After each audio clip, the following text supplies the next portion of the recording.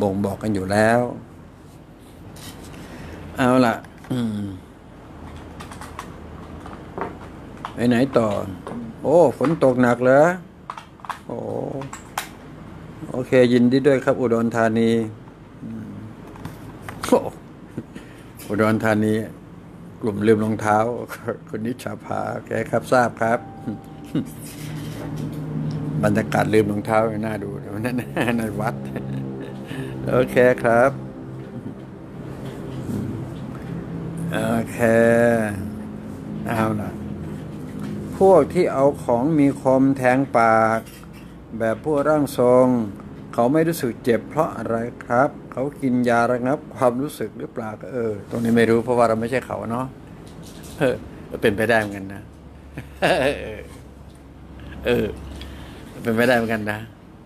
นั่นนั่นนั่นเออ เขาอมอะไรสักอย่าง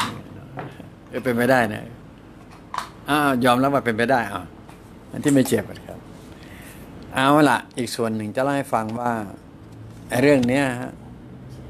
คือกายกับใจมันหลอมรวมเป็นหนึ่งเดียวกัน โอเคนะ มันจะมีภาวะหนึ่งก็น่าประหลาดเหมือนกันนะครับ มันจะหมดความรู้สึกเป็นความจริงนะ เป็นความจริงเป็นความจริง เวลาเราดูเขานะครับ ผมเคยคิดเอาไว้นะ เคยคิดไว้นานแล้ว แต่ไม่เคย ยังไม่เคยท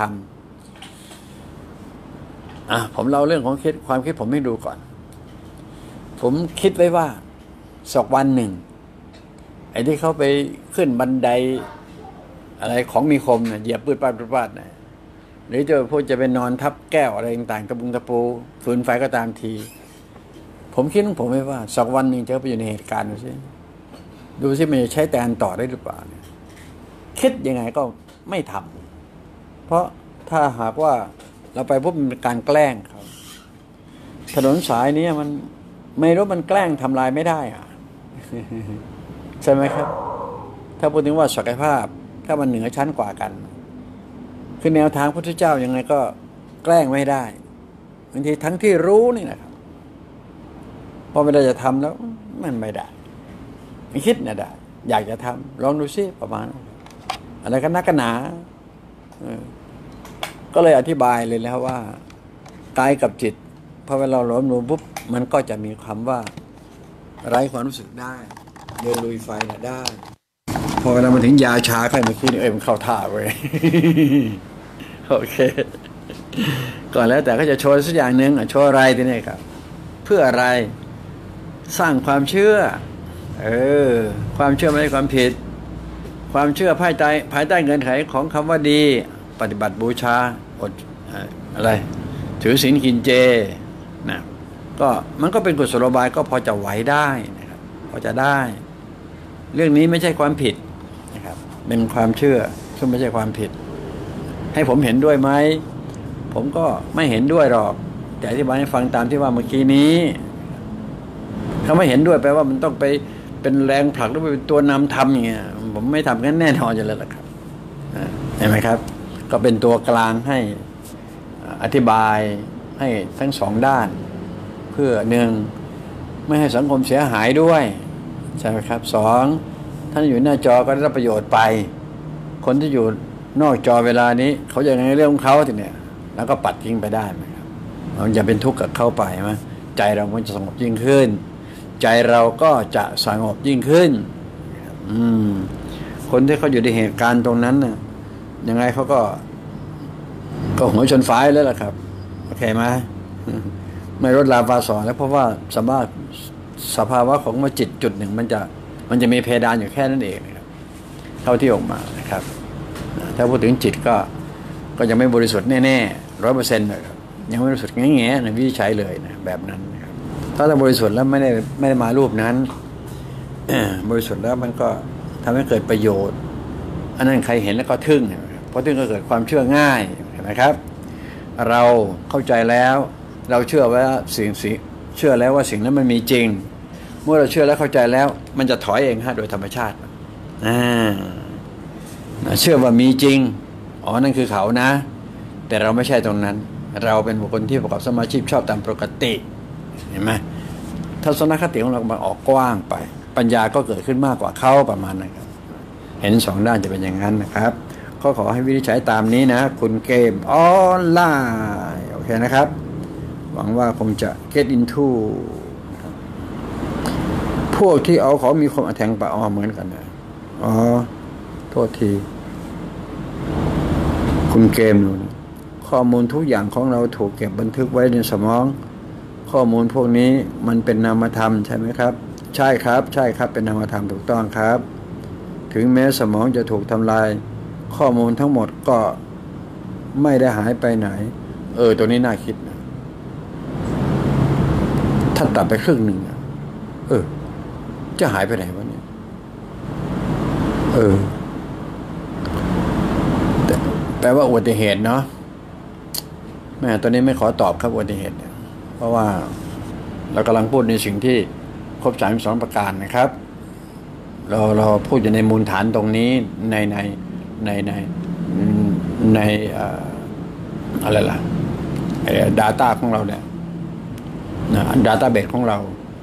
ก็แบบพูดอยู่ในมูลฐานที่มันมีครบสามสองประการนะครับ แต่ถ้าเราถูกตัดไปแล้วเนี่ยคนนี้ไม่ขอตอบครับ ไม่ขอตอบตอนนี้เพราะว่าโอกาสผิด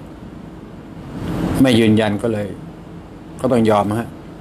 เพราะว่าสมองมันถูกตัดไปแล้ว ข้อมูลยังเก็บอยู่หรือเปล่า เออ ขอบคุณมากครับ เป็นคำถามที่เกิดปัญญานะครับคำถามแบบนี้เป็นคำถามเกิดปัญญานะครับคำถามเงี้ยดีครับอย่าลืมนะผมตอบอยู่ในพื้นฐานของธรรมชาติหมดนะครับ อยู่ในพื้นฐานธรรมชาติหมด อยู่ในพื้นฐานของการครบสามสองประการนะครับ อย่าลืมมนุษย์เรา ผมตอบอยู่ในพื้นฐานตรงนี้ โอเคนะงั้นพอเวลาเกิดอุบัติเหตุตัดออกไป โอ้ยอม ตรงนี้ยอมจริงครับ ยอมจริงนะ เอาละก็ขอให้พวกเราเจ้าข้ออย่าให้เกิดเป็นเช่นนั้น อย่าให้มีการถูกตัดออกไปในอวัยวะให้มันครบสามสองประการเช่น มีไตสองตัวสองข้างก็ใช้ได้จนกระทั่งถึงละมอดมวยมอนังมาสังขารา มีสมองซีไซด์ที่ขวาเช่นเดียวกัน อย่าให้ใครมาตัดต่อ แปลว่าอุบัติเหตุจะไม่เกิดขึ้นกับพวกเราเจ้าค่อยประมาณนั้นครับโอเคนะ ก็ขอให้เป็นเช่นนั้น ส่วนคนที่เขาตัดไปเรื่องของเขาเขาอยากจะให้ตัด อยากจะให้ใครต่อเป็นเรื่องของเขาไม่ใช่เรื่องของเรา แล้วก็เราไม่ต้องไปเป็นเครื่องมือใคร ให้เป็นสร้างมูลค่าเพิ่มให้กับใครสักคนหนึ่งเราไม่ทำตรงนั้น เพราะว่าธรรมชาติในตัวเรากว่าจะล้อมเหลามันเป็นตัวเรา มันไม่ใช่ใช้เวลาน้อยนิดนะครับ มันใช้ เป็นเวลาที่นับไม่ได้เลยนะครับสำหรับคนที่เขาบอกว่าบริจาคแล้วไม่เป็นอันตรายไม่อะไรต่างๆเขาพูดเพื่ออะไรก็เป็นประโยชน์หรือเปล่านะครับแล้วก็ขอให้แบ่งแยกให้ออกนะครับ เอาเราเป็นตัวหลัก อืม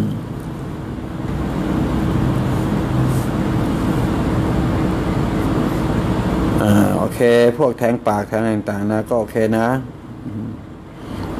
ดีมากครับคุณนิวานะก็ก็ทุนโนวานะครับ เขากินยาระงับความรู้สึกหรือเปล่าครับ น่าสนใจ น่าสนใจคำนี้นี่คือปัญญาใช่ไหมคำถามแป๊บเนี่ยมันเป็นปัญญาทันทีนะนี่แหละคือใช่ นี่แหละคือใช่ยอมรับเลยครับ คุณโนวาขอยกย่องนะครับ ผมก็เล่าให้ฟังกันสองบริบทนะครับเข้าใจ เรื่องกายกับจิตที่มันล้อมเดียวกันมันก็จะไม่รู้สึก หรือรู้สึกก็น้อย พอทนได้ประมาณนั้นลุยไฟก็พอทนได้น่าจะแทงปากแทงจมูกก็พอทนได้นะอย่างนี้เป็นต้นนะครับนั่นก็ทำได้จริง ๆ นะ เรื่องนี้นะครับ แต่ทางฝ่ายผมต่างหากที่อยากจะไปลองดูซิคิดยังไงก็ไม่เคยทำสักทีนะครับเพราะว่าพอถึงจุดหนึ่งคือกำลังเล่นๆอยู่เงี้ยมันเกิดพลาดพลั้งว่าโอ้โห เราเห็นกับตา แล้วสมมติว่าเรามีศักยภาพเหนือกว่าสมมตินะครับ ไปไปอยู่ในเหตุการณ์ เป็นการมันก็เหมันกับทำลายเขาอะพระพุทธเจ้าจะห้ามทำลายจำหน่อยครับตรงนี้ก็หาวิธีที่จะให้เขาเหล่านั้นมารู้จักเราแค่นั้นเองนะครับ เพื่อจะให้เขาปรับในทางที่มันถูกต้องตรงจริงตามแนวทางของพุทธศาสตร์ที่ให้ไว้กับชาวโลก ผมก็มองทางด้านนั้นซะมากกว่านะครับ ถ้าเราคิดบวกอยู่เรื่อยๆ สิ่งดีๆ จะเกิดขึ้นกับเราจริงไหมครับ ขอบคุณครับอืมคิดบวกมันคิดยังไง คิดบวก มันบวกเอาบวกเอาอย่างนั้นใช่ไหมคำว่าคิดบวกนะใช่ไหมครับไอ้เนกาทีฟโพสติฟนี่นะครับ โอ้ยฟังมาเยอะคิดบวกตีความให้มันชัดๆดีไหมครับ ไม่งั้นมันก็ปะปนกันอยู่ในมันสมองเราปะปนอยู่กับสังคมเรา ก็เลยแยกแยะ แยกย่อยไม่ออก บอกไม่ถูก คิดบวกคิดบวก เอานะ ในทัศนส่วนตัวผมก็คิดบวกฟังดีนะครับ ความคิดของผมบอกคิดบวกคืออะไรถามลุงหอกนะ ไม่ไปถามคนอื่นไม่เห็นคนอื่นไม่เอานะ ไม่เอาตัวอย่างอื่นโอเคนะ เอาตัวอย่างที่ท่านถามผมลุงหอกถ้าบอกว่าคิดบวกมันหมายถึงอะไร ผมตอบเลย คิดบวกคือคิดแต่จะให้ เออ ถ้าทำปวกก็มีแต่ให้ให้ของ มีของชิ้นนี้มันมีสองชิ้นอย่างเงี้ยไฟแช็กมีสองชิ้นคิดบวก ให้บวกก็เอาไปสักชิ้นหนึ่งซะอย่างเงี้ยพอเวลาเป็นการกระทำมันสูญเสียแล้วเนี่ย มันเสียหายไปหนึ่งอันแล้วเป็นการกระทำเห็นไหมคิดบวกคิดแต่จะให้เรามีไฟแช็กสองอัน วันหนึ่งเออ แบ่งกันให้เข้าไป ทางโลกมันหายนะฮะทางโลกหาย แต่ทางธรรมเนี่ยแค่แค่ความคิดมันไม่ได้สูญเสียอะไร โอเคไหมครับ อืม เพราะฉะนั้นคิดแต่จะให้ไปสิครับหนึ่งในจำนวนให้ทั้งหมดก็คือการให้อภัยตัวนี้เหนือชั้นมากครับ ให้อภัยใครทำได้สุดยอดนะเกินโลกเลยครับ บางทีมันขุนเคืองกับนายกนายขอมาม่าแล้วเกินโอ้โห ทนไม่ได้ดูเป็นสามีภรรเมียกันหรือว่าเป็นคนในครอบครัวหรือคนเพื่อนฝูง ถ้าบอกว่าเอ้ยโกให้อภัยหมดแล้วว่า แล้วก็ทำตัวง่าย ๆ อย่างนี้สุดยอดปรารถนาของมนุษย์ ตัวให้อภัยเนี่ย ตัวที่ พระพุทธเจ้ายกย่องมากนะครับ ให้อภัยอ่าคำว่าให้ไงคิดบวกคิดแต่จะให้ ให้ให้ให้หนึ่งในนั้นคือมันสุดยอดคือให้อภัย ใครก็ได้ไม่เคยมาเหยียบหลังตีนเลยเมื่อก่อนนู้นห้าปีสิบปี ใครก็ตามที่มาเป็นหนี้เป็นสิน ขอยืมเงินเราไม่ใช้เราก็ไม่ได้อดอะไรกันนักกันหนาเอ้ยอภัยแต่ว่าอธิษฐานมันดีไปธรรมะกินได้คล่องขึ้น มันเหลือเมื่อไหร่มันจะมาคืนเรานะคิดแบบนี้ แต่ขณะกันเราต้องไม่ตัวเราเองต้องไม่เดือดร้อนนะอ่าถ้าเรายังเดือดร้อนอยู่มันทำไม่ได้หรอกมนุษย์นั่นใช่ไหมครับ คนนั้นเป็นหนี้เราไม่มีจะกินเนี่ย ก็ไปทวงเที่ยวไว้ถืออยู่ในค่ำทำไม่ได้หรอกโดยทางโลกมันจะทำไม่ได้ แต่โดยความคิดมันก็ไปอย่างที่ว่าเมื่อกี้นี้โอเคนะ คิดบวกก็คือคิดแต่จะให้คิดลบคิดแต่จะเอา มีโอกาสว่าไหนกูเอาเลยนั่นแหละครับโอกาสมาถึงกูเอาเลยล็อกคอเลยประมาณนั้นนั่นประเภทคิดลบคิดแต่จะเอา ถึงเวลารวบเลยกินรวบเลย นั่นลักษณะนั้นถือว่าคิดลบแล้วก็ทำลบ โอเคไหมครับ พอมองออกนะ นี่คือในในในทัศนะของลุงหงอกที่ได้จำแนกให้ฟังเนาะโอเค จบข่าวนะ นอกนั้นคนอื่นเขาก็อีกเรื่องหนึ่งนะครับ เราไม่เกี่ยวกันนะฮะท่านก็แยกแยะเอาแล้วล่ะ ต่อไปนี้ลุงครับลุงอ่านของเจป๊อปหรือยังครับลุงเลื่อนลงมาเลยเลื่อนลง เจอะไรนะเจป๊อปครับตรงไหนเนาะสีม่วงสีม่วงกุศโลบายที่สอนคนให้เชื่อ อยู่ตรงไหนเนาะ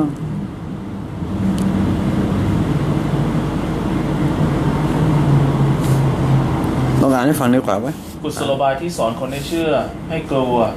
แต่ได้สอนให้เข้าใจทำให้คนเขาขาดปัญญาขาดความเข้าใจใช่ไหมครับ ต่อเนื่องแบบสวดมนต์ดีทำให้จิตใจสงบได้บุญ แต่ยุคนี้ท่องสุดคูณบวกลบคูณหาร หากมีประโยชน์ ก็จะดีกว่าสวดมนต์ต้องเห็นตัวหนังสือทั้งหมด มันถึงจะไม่ต้องยกครับ ทำที่เดิมแบบเดิมวางไว้แบบเดิม ต้องเห็นตัวหนังสือทั้งหมดมันนี่พอเวลาอ่านมันจะได้ทั่วทั้งหมดไป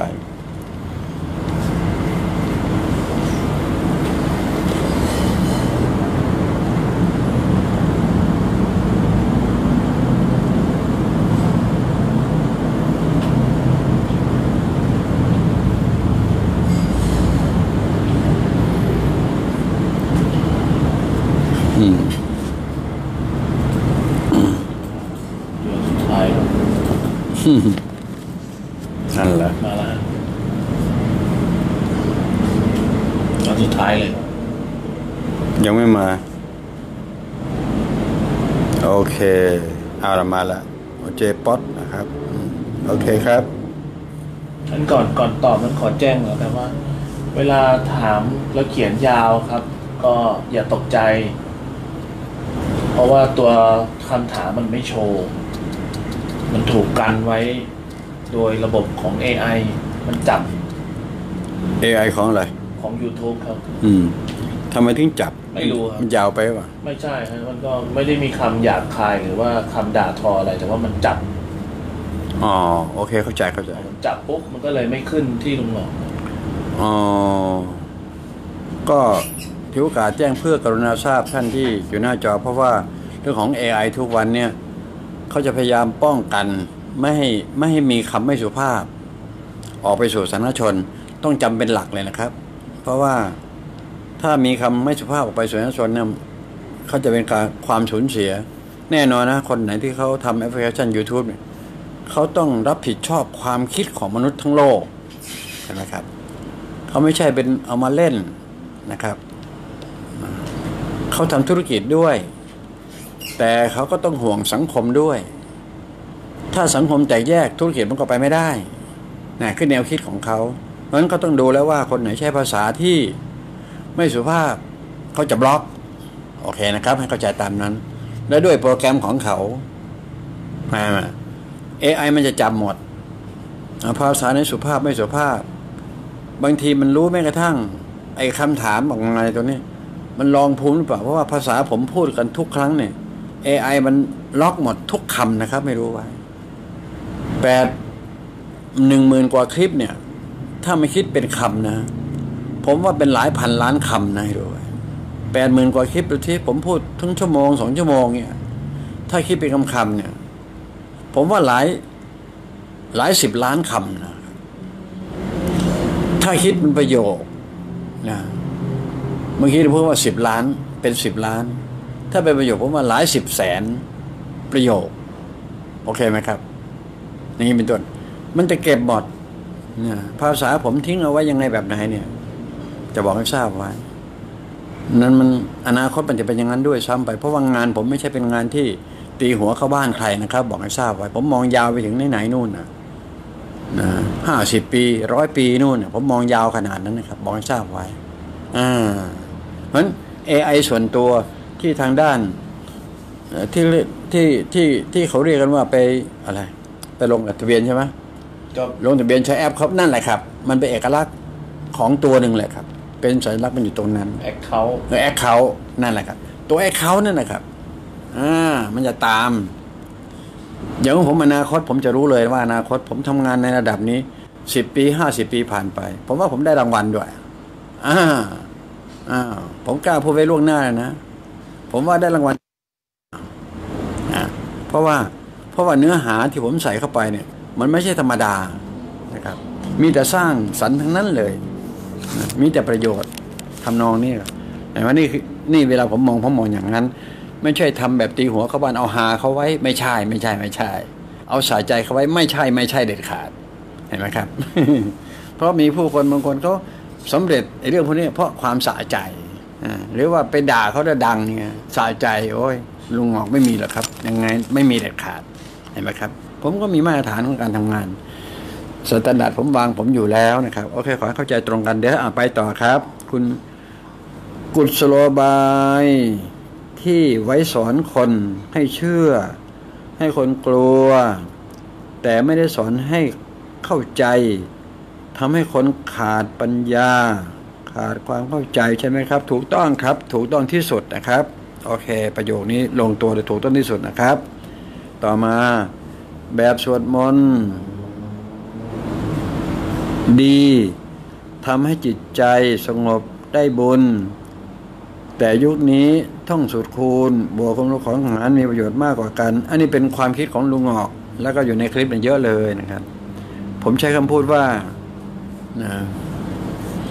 ไอ้ส่วนมนต์เนี่ยเดี๋ยวจะตอบว่าได้อะไรนะครับส่วนมนต์กับท่องสุดคูณเพราะว่าท่องสุดคูณจะจะมันใช้ประโยชน์ในชีวิตประจำวันได้ดีกว่า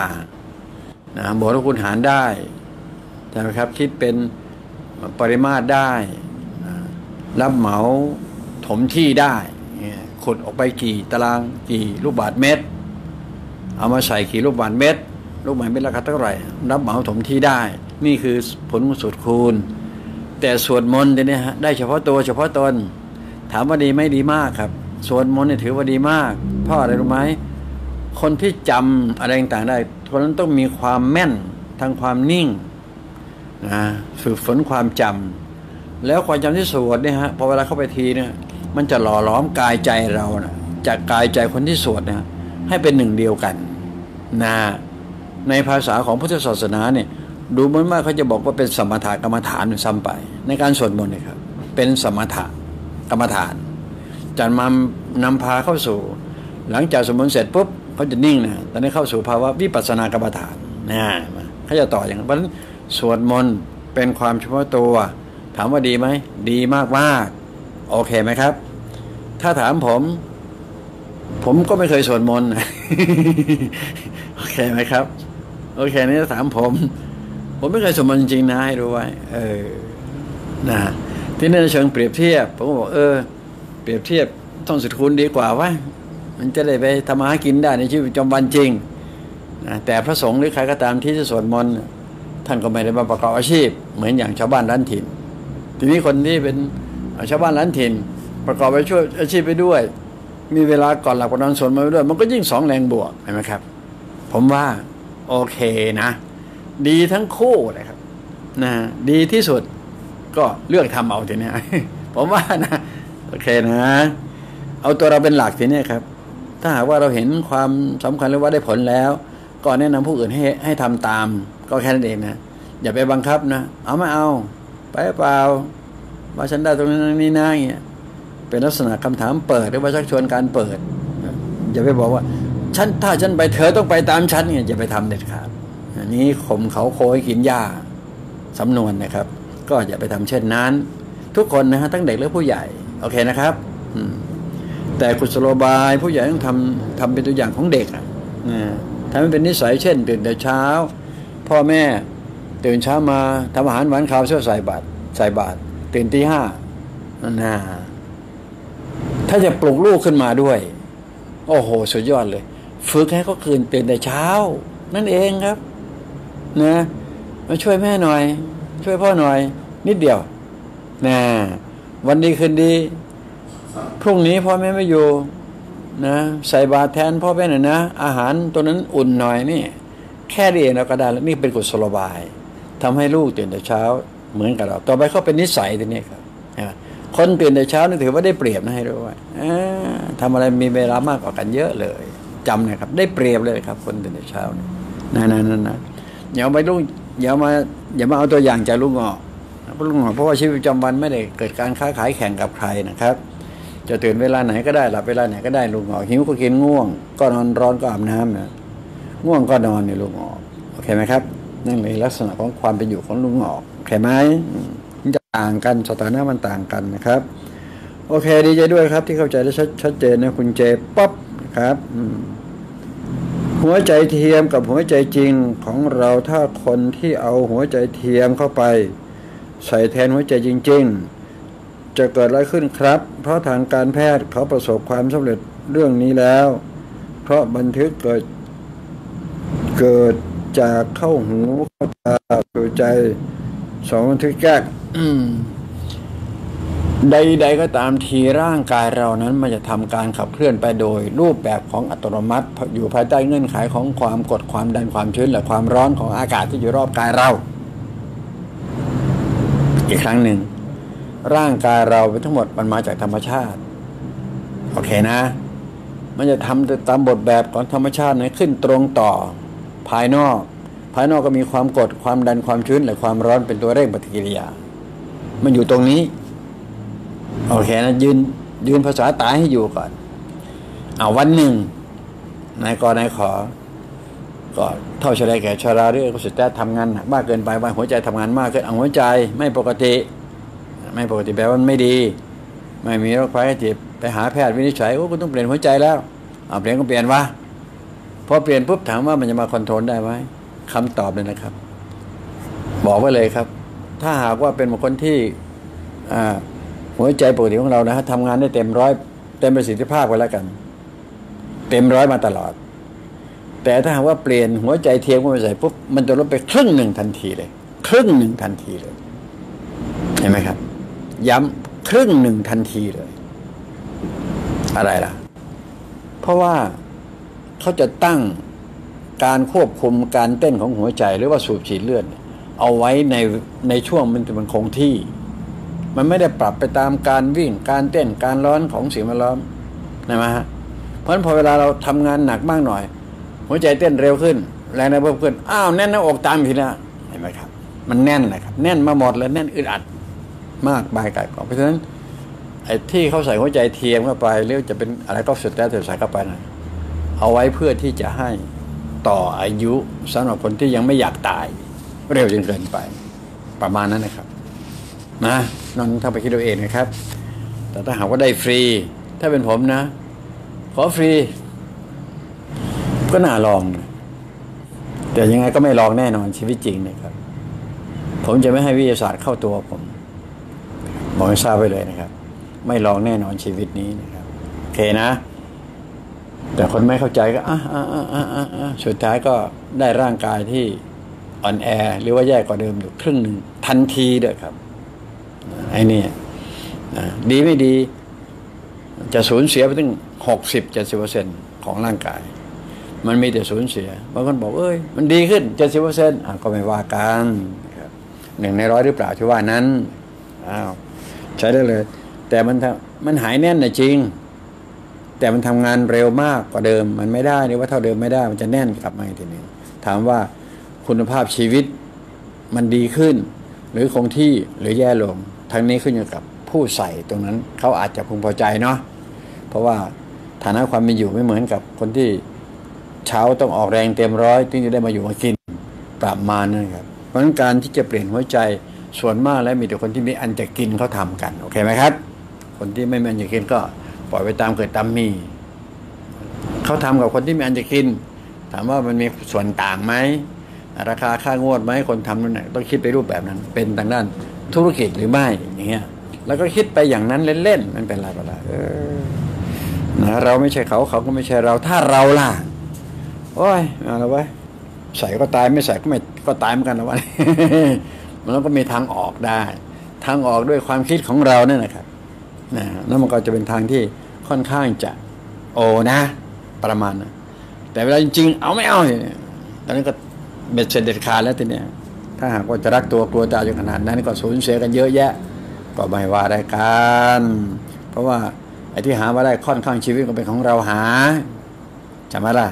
ไม่ได้มาจากใคร มันก็เป็นสิทธิโดยชอบธรรมของตัวเราเองโดยประมาณนั้นแหละใช่ไหมครับ แต่สำหรับทางผมผมจะไม่เลย ผมเอาให้ลูกให้หลานดีกว่า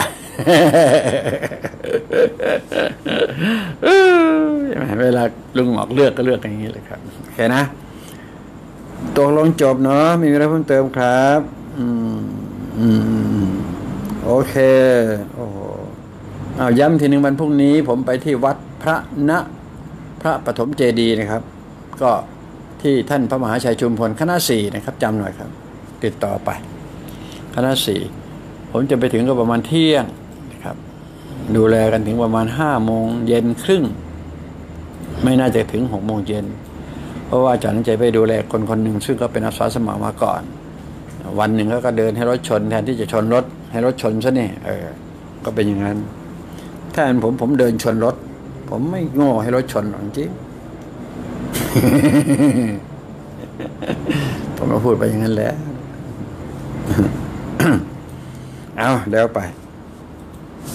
กลงไม่มีเรื่องเติมนะ ทาง YouTube หมดแล้ว ทางเฟซอ้าวหายไปเลยเฟซหาใหม่ไม่แล้วจบนะ ไม่ต้องถ่ายทางเฟซแล้ว โอเค บ้านใครบ้านใครครับ ดูเวลาสามทุ่มห้าสิบสี่นาทีโอเคผมว่าผมเคลีนหมดแล้วนะ ผมเคลียร์หมดแล้วนะทุกท่านเนาะไม่ติดขัดเรือ พรุ่งนี้ก็ประกอบสมาชีพชอบตามปกตินะฮะซื้อกินไม่หมดก็กินไม่นานขอให้พอกินพอใช้เหลือกินเหลือใช้แล้วเหลือขอเหลือพอเด้อสิบอกให้ อย่าลืมนะปกป้องคุ้มครองการงานบริวารแหละทรัพย์สินคารที่หามาได้นะเดินทางไกลๆซ้ายขวาหน้าหลังล่างบนมืด หรือสว่างทุกรอบทุกรอบหมุนทุกกาวที่เดินน้ำบกอากาศนะสามสหายพระราชพานะของพระศรีอะริยเมตไตร พญานาคพญาช้างเผือกพญาครุฑเขาจะ